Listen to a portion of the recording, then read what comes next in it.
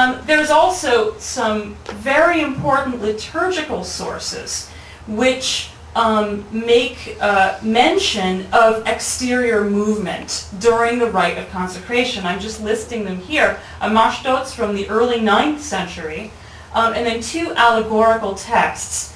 Uh, there was a scholar, um, a litur liturgist, Father Daniel Findikyan, who wrote a wonderful article on the rite of consecration um, and noted that there were these moments in the consecration rite in which the bishop exited the church and actually pronounced in whose name the church was dedicated. So if we think about how this would have worked, that there was this life outside the church and there was this sort of ceremonial dimension to the ex church exterior in Armenia, the, the sculpture, the program at Akhtamar becomes very interesting. Could I have the next slide? Um, we can go to the next one, actually. So here we have this amazing exterior sculpture at Akhtamar. This, again, I have to say, is very preliminary. I'm just sort of starting to make this hypothesis, this claim about the 7th century, but it's really interesting to think about how it worked in view of the 10th century evidence. So Akhtamar's always talked about really interesting sculpture, you know, fascinating Byzantine elements to it, Islamic elements to it, very unusual. But we always talk about it really as art historians, and we don't talk about it in terms of uh, really as liturgists, as, as uh, you know, sort of ex explorers of ceremonial. But if you think about the fact that in the Middle Ages, images were not just pretty pictures. They weren't just photographs in magazines and you turn the page. They were meant to be interacted with. They were meant to, you were meant to have a very instant connection with an image, and it was, it was a very special kind of relationship, often involving veneration.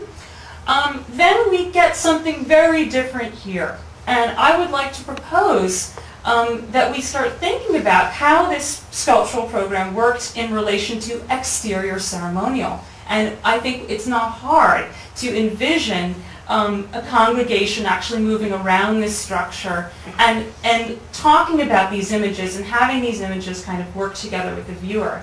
In that light, can we just go to the next one? In that light, the model becomes even more interesting because we can think about this as part of a ritual.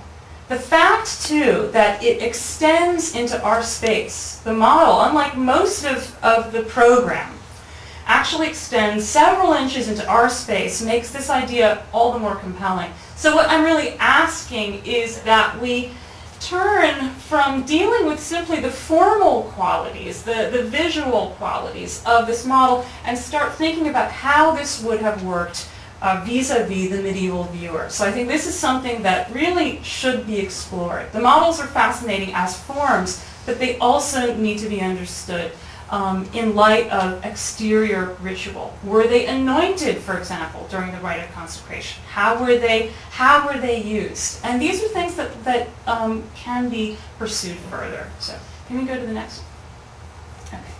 Um, I just want to bring up a really fascinating and precious description that we have of the model at Akhtamar that was written by a contemporary. Um, so it's always wonderful when you have a contemporary source that's telling you about this object. So here we have it. Um, and this is from the famous chronicle, The History of the House of the Artsrunik. Um, and, and, it includes a, a, wonderful description of Akhtamar, this amazing church, but also specifically a discussion of Gagik and the model. Um, and so it says, in a true likeness, he uh, arranged opposite, meaning the, the sculptor, arranged opposite the Savior, the glorious image of King Gagik, who with proud faith raises the church on his arms like a gold vessel full of manna, or a golden box filled with perfume. I mean, these are wonderfully evocative metaphors. They're very nice in a literary sense, but it's also interesting that they're specifically liturgical. They evoke specifically liturgical ideas. That golden box full of manna um, evokes the idea of an artophorion, which was a, a container or a pyx, a container for Eucharistic wafers, which was used in the liturgy. At the same time, I think very clearly, the golden box filled with perfume evokes the idea of a censer. So it's clear, even in the Middle Ages, that this chronicler was thinking about the models in, in terms of the cult, in terms of the liturgy. So this should help us with trying to sort of understand them. They were more than just um, simulacra of churches. So, the next please. Um, and I'm just showing you one example from the Byzantine world. This is a um, probably 12th century censer from Byzantium, now in the treasury of San Marco. Um, and uh, uh, an which is, a, again, a container for Eucharistic wafers, um, in the shape of a building. So this, you know, this gives us some kind of a context for understanding our, our model at Akhtamar. Can I have the next, please? Okay. Even more directly associated with the cult and with liturgy are um, stone reliquaries that are found in Armenia. Um, and can we go to the next? Um, reliquaries exist in the Middle Ages in general. Um, they are simply containers for the mortal remains of saints. Um, and we see them, for example, in the early Byzantine period. There's a, a marble reliquary on the left um, in the shape of a sort of a building. Generally, you could say it's sort of architectonic in shape.